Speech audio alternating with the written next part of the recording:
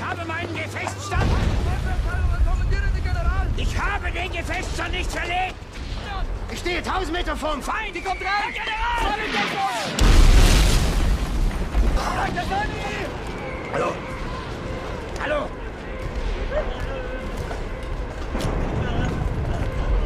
Was Meldungen, Herr General?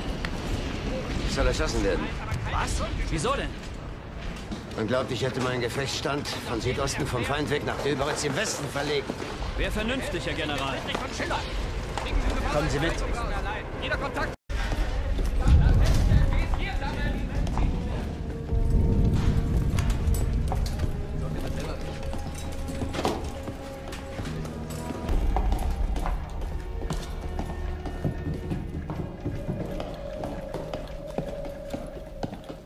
Ich muss den Führer sprechen.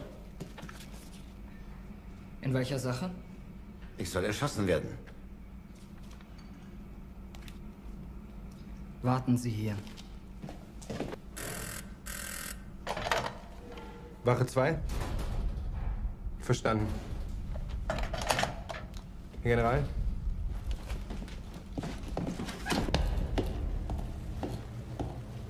Heiliger!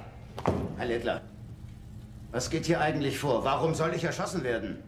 Sie wissen von dem Befehl des Führers, dass ein Ausweichen nach Westen für alle ausdrücklich verboten ist.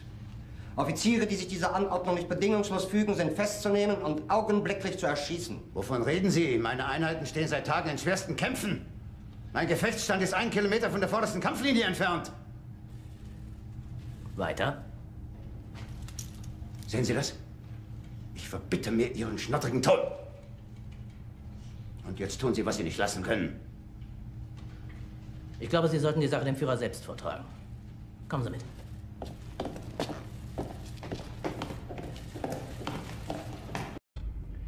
Ich will jetzt sofort wissen, ob die Gesamtlage es wahrscheinlich macht, dass Wenk noch eingreifen kann. Es ist unwahrscheinlich, dass Wenk mit seinen wenigen Verbänden der Roten Armee... Wieso behaupten Sie, ein Angriff Wenk sei unwahrscheinlich? Wenk hat der Roten Armee absolut nichts entgegenzusetzen! Wenn das so ist, warum sagen Sie das nicht dem Führer? Sind wir denn alle verrückt geworden? Glauben Sie im Ernst, der Führer weiß das nicht selbst? Aber er wird niemals kapitulieren. Und damit Sie es nur wissen, wir auch nicht. Ich habe das einmal mitgemacht. Das reicht. Kommen Sie, ich muss hier raus. Es ist dem Feind gelungen, die Front in breiter Formation zu durchbrechen. Im Süden hat der Gegner Zossen genommen und stößt auf Stahnsdorf vor. Der Feind operiert jetzt am nördlichen Stadtrand zwischen Frohnau und Pankow. Und im Osten ist der Feind bis zur Linie Lichtenberg-Marsdorf-Karlshorst gelangt. Mit dem Angriff Steiners wird das alles in Ordnung kommen. Mein Führer, Steiner Steiner konnte nicht genügend Kräfte für einen Angriff massieren.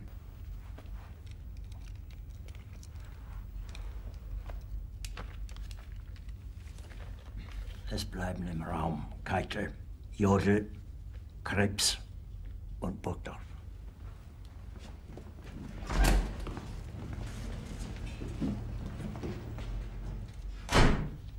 Das war ein Befehl! Der Angriff Steiners war ein Befehl! Wer schickt Sie? Dass Sie es wagen, sich meinen Befehl zu widersetzen! So weit ist es also gekommen. Das Militär hat mich belogen! Jeder hat mich belogen, sogar die SS! Die gesamte Generalität ist nichts weiter als ein Haufen niederträchtiger, treuloser Feiglinge! Mein Führer, ich kann nicht zulassen, dass die Soldaten, die für Sie verbringen... Nicht als Feiglinge! Verreiter, Versager! Mein Führer, was Sie da sagen, ist ungeheuerlich. Die Generalität ist das Geschmeiß des deutschen Volkes! Sie ist ohne Ehre!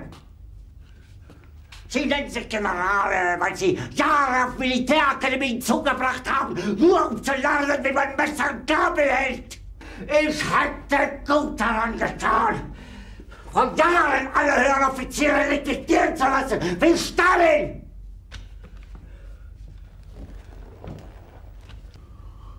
Verräter! Von allem Anfang an bin ich so verraten und betrogen worden!